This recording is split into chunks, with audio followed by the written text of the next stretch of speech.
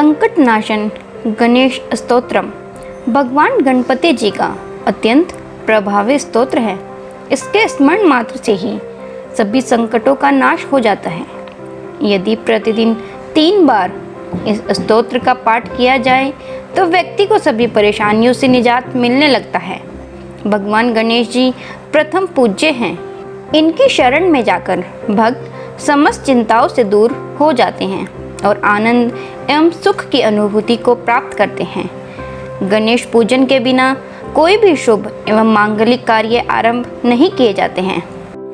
ब्रह्मांड की उत्पत्ति के समय समस्त विघ्नों के नाशक भगवान श्री गणेश जी का आगमन हुआ और पृथ्वी पर सुख, शांति, वैभव, समृद्धि व्याप्त हुई।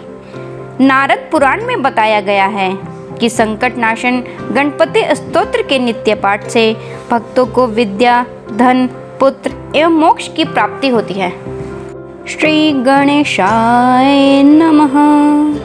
प्रणम्य शीर्षा देवं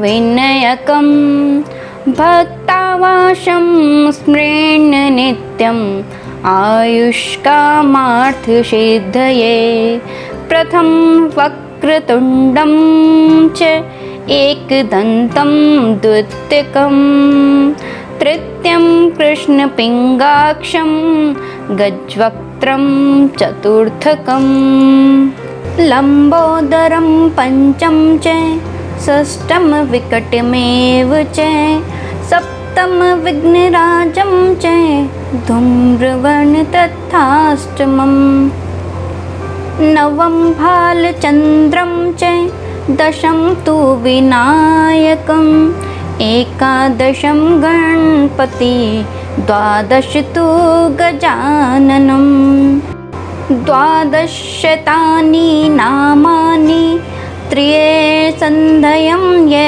पठेन्न न च विघ्नभयं तस्य सर्वसिद्धिकरं प्रभो विद्यार्थी लभते विद्या धनार्थी लभते धनं। पुत्रार्थी लभते पुत्रान् मोक्षार्थी लभते गतिं जपेद गणपतिस्तोत्रं षडीभर्माशे फलं लभेत्। संसरेण सिद्धिं च लभते नात्र संशयम्। अष्टभयो ब्रह्माणेभ्यश्च लिखित्वा ये समर्पेत् तस्य विद्या भवेत् सर्वा। गणेशस्य प्रसादत। श्रीलम्बोदर गजवदन। जय जय श्री गणेश। विघ्नहरण मंगलकरण। काटो सकल कलेश। श्री गणेशाय नमः। प्रणम्य शीर्षा देवं गौरीपुत्रं विनयकं भक्तावाशं स्मृण्य नित्यम् आयुष्कामार्थसिद्धये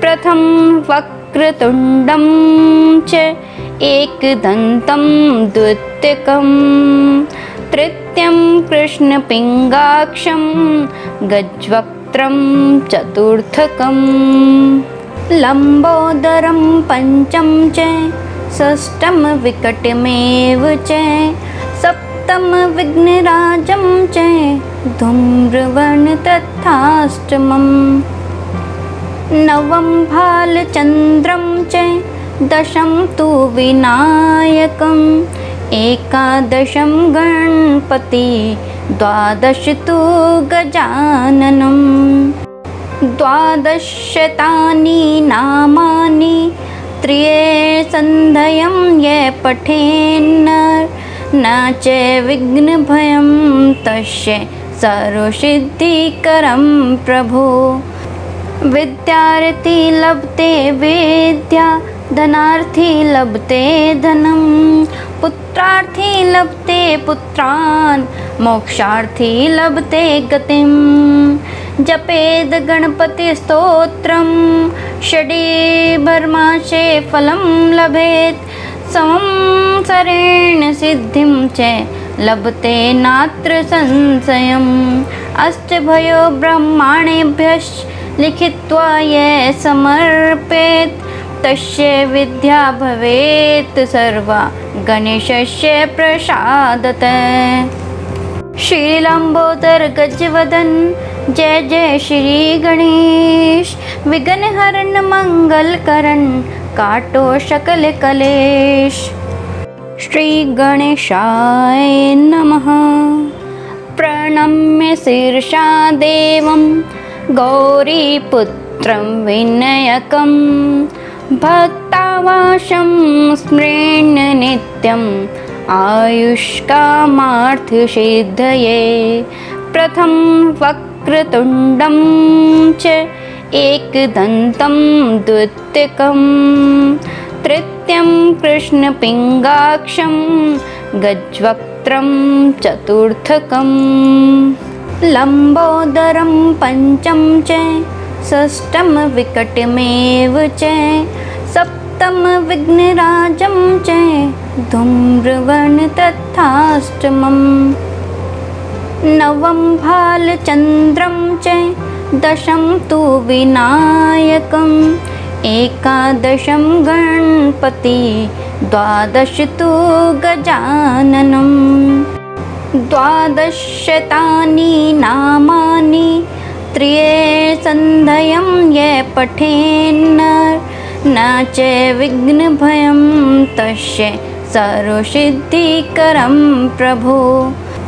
विद्यार्थी लभते विद्या धनार्थी लभते धनं पुत्रार्थी लभते पुत्रान् मोक्षार्थी लभते गतिं जपेद गणपतिस्तोत्रं षडीभर्माशे फलं लभेत्।